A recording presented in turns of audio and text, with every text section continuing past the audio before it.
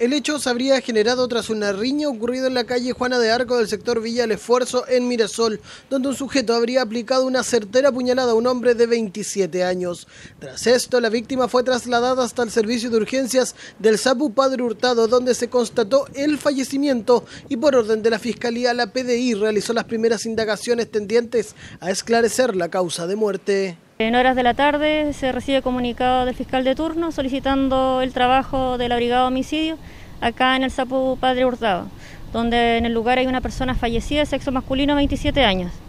Ya, eh, de forma paralela llegó una persona lesionada al hospital, también producto de una herida cortopunzante.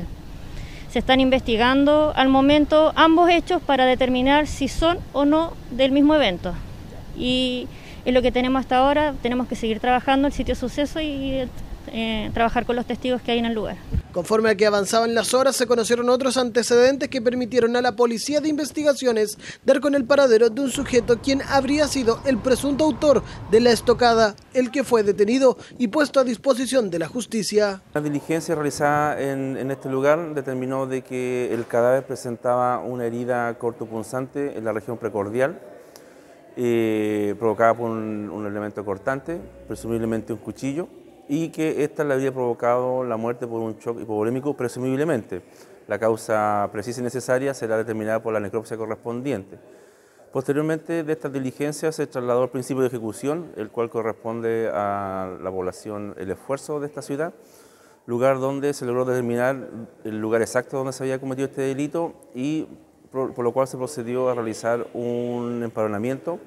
logrando de esta manera ubicar a testigos presenciales de este ataque, a quienes se le tomó declaración,